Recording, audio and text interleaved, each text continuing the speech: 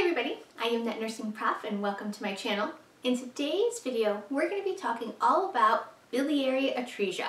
So let's get into it.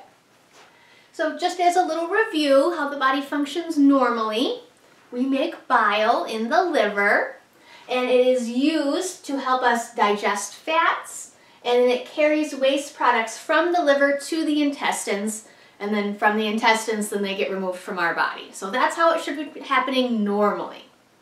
So when somebody who has biliary atresia, they have a blockage, okay? And because of that blockage, that bile gets trapped in the liver and it starts to cause problems. So trapped bile causes damage like scarring in the liver, cirrhosis, which eventually can lead to liver failure.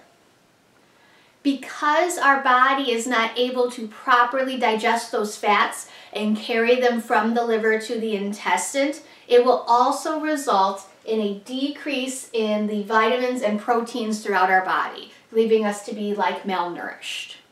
So who does this happen to? Who are our big risk factor groups?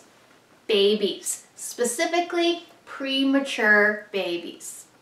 Um, some other risk factors being of African American or Asian ethnicity, and then being female. So girls are more likely to have biliary atresia than boys. When it comes to the signs and symptoms, the big ones we want to look out for, dark urine, clay or white tan colored stools, poor weight gain, and since this is a pediatric issue, failure to thrive. And in terms of how does this get diagnosed, a couple of different things. So they might want to do an abdominal ultrasound, an x-ray of the bile ducts to see how they're working.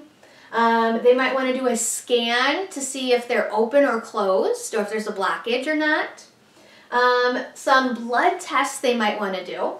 Liver enzymes, so we know if they're elevated, that's a sign that the liver is damaged. Same for bilirubin, they would be elevated. Albumin and protein would actually be decreased in this case because remember the liver is not doing a very good job so the patient is having less protein overall so these numbers will be lower.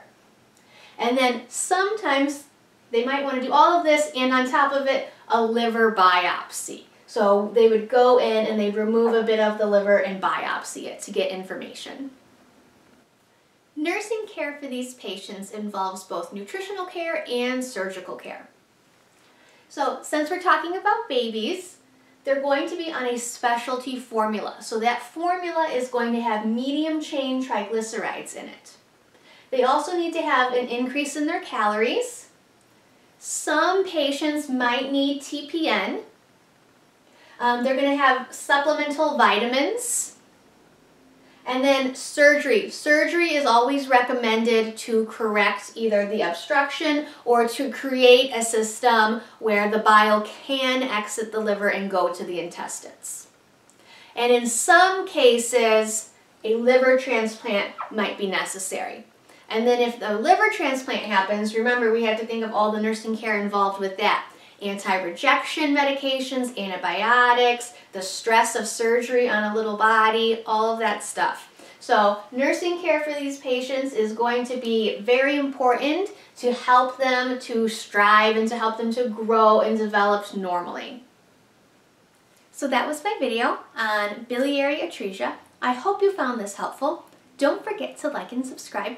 If you have any questions or comments, please let me know. And if not, I'll see you on the next one.